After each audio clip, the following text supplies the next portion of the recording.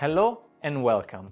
In this video, we will discuss how to use the selection and filtering options that are part of some of the tasks in ANSYS Fluent Meshing watertight workflow. The selection and filtering options are very versatile tools. They let us quickly identify and select different entities of the imported geometry as target objects of different tasks. For example, we can choose to apply a particular local sizing only to specific zones, or generate boundary layers only on selected boundaries. Let's look at these options in more detail.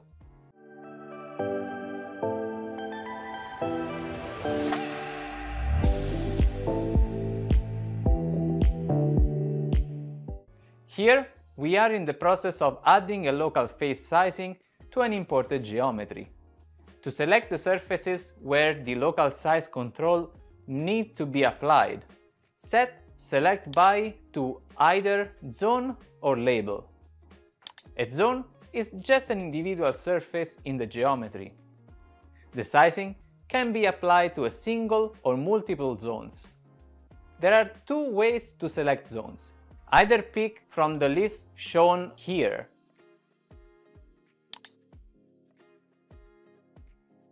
or select the Zone Selection filter from the toolbar and right-click on the surfaces displayed in the graphics window. Labels are the names given to the surfaces and regions during CAD creation. They are used to select boundaries or regions and apply local sizing, boundary layer mesh, or set boundary conditions. In our case, while creating the geometry in SpaceClaim, we created a few name selections, which were recognized by Fluent Meshing upon geometry import. Additionally, it also created labels based on the names of the bodies in the structure tree. You can either pick between a zone or a label by setting Select By as needed. However, it is recommended to define name selections at the CAD creation stage and use labels during the meshing process to guarantee persistence even if the geometry is changed. A good practice is to set up name selections on the boundaries based on the boundary condition type that will be used in Fluent during simulations, like inlet, outlet, wall, and so on.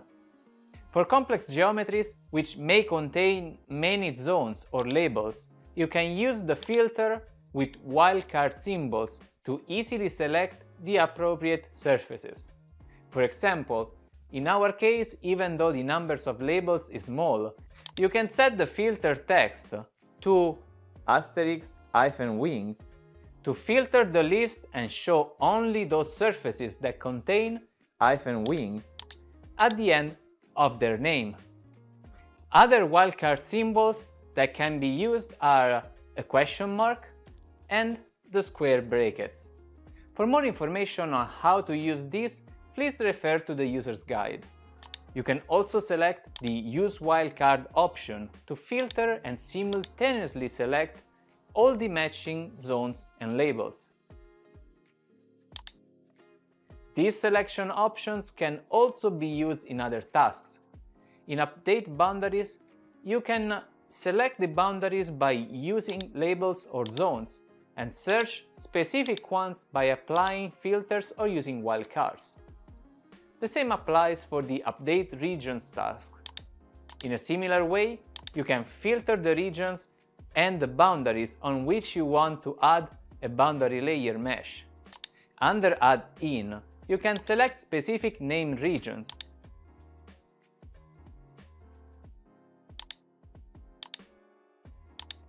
And under Grow On, you can choose the boundaries by selected zones or selected labels.